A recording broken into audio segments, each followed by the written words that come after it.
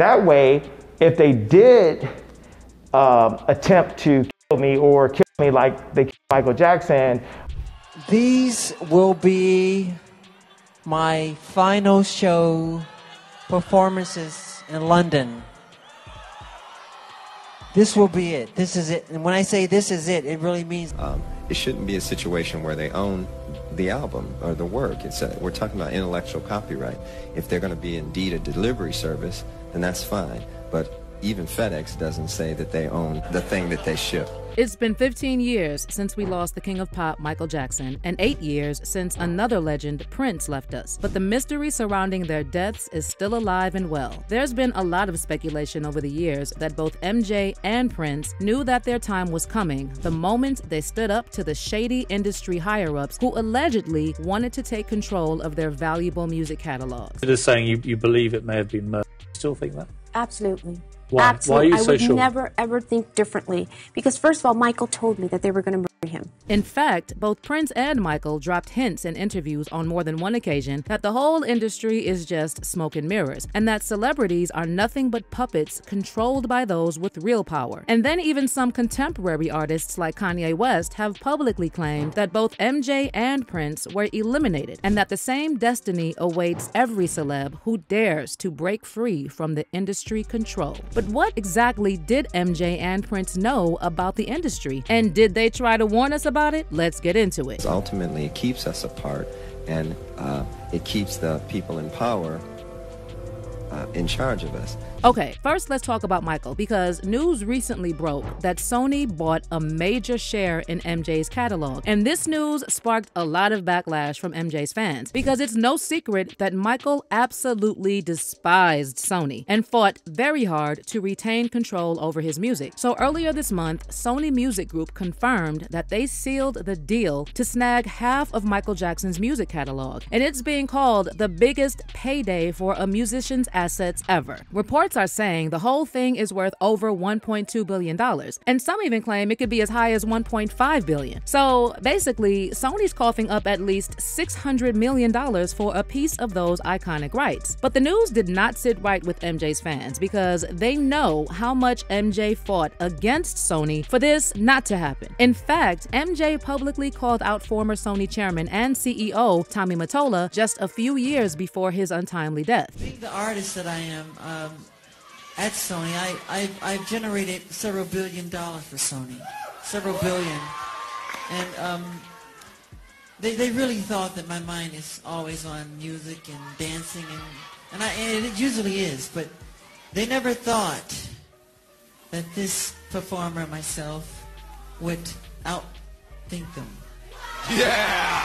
Fans also believe there's something very shady about John Branca, the co executor of the Michael Jackson estate. See, MJ fired John Branca twice in 1990 and 2003. So the fact that this man is now the co executor of his estate obviously doesn't sit right with Michael's fans. But we're just scratching the surface here because multiple members of Michael's family claimed that Michael was literally scared for his life and tried to warn his loved ones, the higher ups, would try to eliminate him for his catalog. Now, we all know that Dr. Conrad Murray was found guilty for supposedly accidentally giving Michael too much of the powerful sedative. But there are a lot of people who are still convinced that Dr. Murray was just a pawn in a game played by some big shots in the industry who wanted to take over MJ's music catalog. Now, it's very suspicious that Michael didn't personally pick Dr. Conrad Murray. He was brought in only a month before Michael passed, and it was all part of the deal with AEG Live, the folks promoting Michael's London concerts. And get this, during the trial, they found out Michael didn't even sign Murray's job contract. Several members of the Jackson family have expressed doubts over the official narrative, including Michael's daughter Paris, who once stated she was absolutely sure her dad was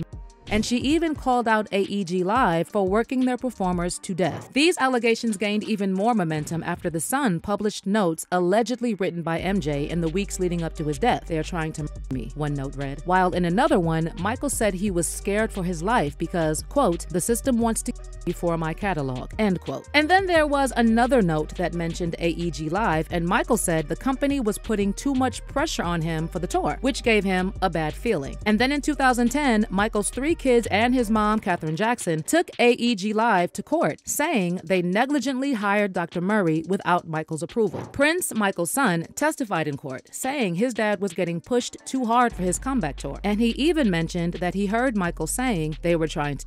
Prince said his father would cry after phone calls, saying, quote, they're going to they're going to kill me. But the jury sided with AEG Live, arguing that the corporation didn't know Dr. Murray would be unfit to perform the work for which he was hired. But despite the court saying one thing, Michael's younger sister Latoya went on an interview spree, claiming that Michael was taken out because he was apparently worth more dead than alive. About Michael, it, it sounded like you actually believed that he truly thought he was going to be Oh no, I did. When he first told me, AJ, I, I have to be honest, I didn't believe it. I said, Michael, come on, you're Michael Jackson. Who in the world would do this? Nobody would, would try to you. I mean, it would be world news and everybody would know about it. They're not going to do it.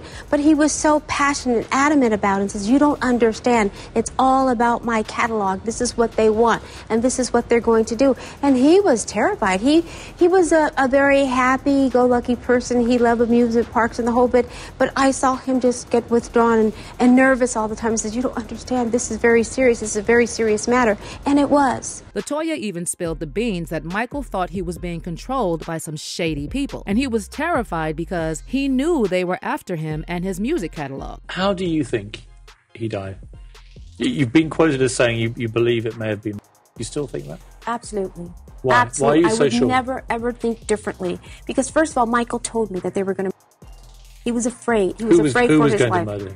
The people that were involved in his life, the people that were controlling him, where people come into your life, wiggle their way in, control you, manipulate, control your funds, your finances, everything that you have, and you must do what they tell you to do. And that's what Michael was going through. And he knew that everything that was happening to him was not kosher, it wasn't right, and it disturbed him greatly. And he kept saying it over and over and over again. And then more recently, Kanye West dropped a bombshell claiming that MJ was eliminated and that he almost suffered the same fate after he started speaking out against the people who really pull the strings in the music industry. And then Ben Shapiro is running this narrative that I'm gonna kill myself, right? And he's like, oh, due to his mental health, he's gonna kill himself. That way, if they did uh, attempt to kill me or like Michael Jackson or JFK, uh, then or uh, Aaron, what is the guy's name? Aaron Carter, the guy who wanted to talk to me. Uh, uh, about the Harley Pasternak situation. If they did do that, they would say, oh, it's Ye's mental health. But Kanye didn't stop there. He also claimed that those industry higher ups eliminated Prince because he had ownership of his master recordings. When you sign a music deal, you sign away your rights, Kanye wrote on Twitter. Without the masters, you can't do anything with your own music. Someone else controls where it's played and when it's played. Artists have nothing except fame, touring, and merch. And then Kanye posted a photo of Prince, writing, Let's get it, big bro. You and Michael passed, so we can live. As for Prince's cause of death, officially he OD'd in his Paisley Park estate on April 21st, 2016. According to the police report, Prince thought he was taking Vicodin to manage pain, but had unknowingly taken fake pills laced with fentanyl. But much like MJ's death, Prince's fans are highly suspicious of the official narrative, especially about the fact that he was supposedly accidentally given laced pills. Some sources even claimed that Prince's death was planned by members of Prince's family and Warner Brothers. See, Prince was very outspoken about the shady side of the music industry, and he often claimed that record companies shouldn't even exist. The reason why it became such a big deal back then is ever since my third album, uh, I wasn't really taking large advances from the recording companies. I was recording the albums myself in my own studio. So the way I looked at it, I owned the work because I paid for it and I did all the work. I created it, so I felt like it should belong to me. That said, the um, companies felt otherwise, and they would always hold this contract up and say, well, you signed it. And I say, well, I understand that. It's not like I want to leave. I just want to, you know, talk about this thing and see if we can't make it more fair. Of course, they wouldn't change because if they change, they wouldn't really exist. Um, it shouldn't be a situation where they own the album or the work. It's a, we're talking about intellectual copyright.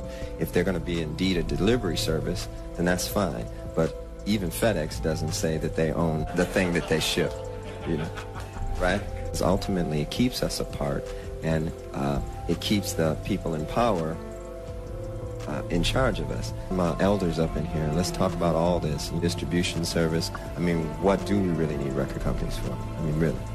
It's also worth noting that Prince finally gained control of his masters in 2014, and then less than two years later, he was gone. Sure, it could all be a coincidence, but there are simply too many loose ends, and knowing everything we know about the entertainment industry and Hollywood, you can't really put anything past these industry folks. And a lot of fans can't help but wonder how come all these artists like MJ, Prince, Kanye, and many others who publicly spoke out against the industry control end up either addicted to substances, labeled as mental mentally ill or taken out under some weird circumstance. And now, with all that has been going on in Hollywood recently, with people like Katt Williams and Kanye West coming out to reveal their firsthand experiences in Hollywood, and people like Diddy getting exposed for the most disturbing things, it really looks like it's only about to get worse. And it's going to be a year of reckoning. One fan said, I am absolutely convinced that they both Michael and Prince because they became independent from these labels, and both died before they could properly release their first self owned albums. And another one added, What Prince and Michael Jackson have all along tried is exposing the dark, crooked, and shady side of the record companies. But let me know how you feel about all these theories surrounding MJ and Prince's death. Do you think they were really taken out for speaking out against the real puppet masters? Drop your comments down below and don't miss out on this next video.